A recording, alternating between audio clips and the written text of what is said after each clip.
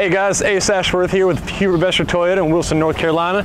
Today we're talking about TD9002A. It's a 2015 RAV4 XLE. So you got the, the LED high beams, halogen fog lights, 18 inch alloy rims. On the inside, beautiful cloth interior, two-tone gray. You also have a little carbon fiber accents on the door. I, pretty, I think they're pretty neat. 60-40 split back seat, you fold down for extra storage. See, the hatch opens up pretty easy. You got your, your spare tire underneath, I'm all about storage space. This is something I love about them. Little tiny compartments in the back closer to this into the seats there. Extra floor mats so nothing stains your actual interior. Take a look on the inside. This is where you can see that, that carbon fiber on the shift column here as well.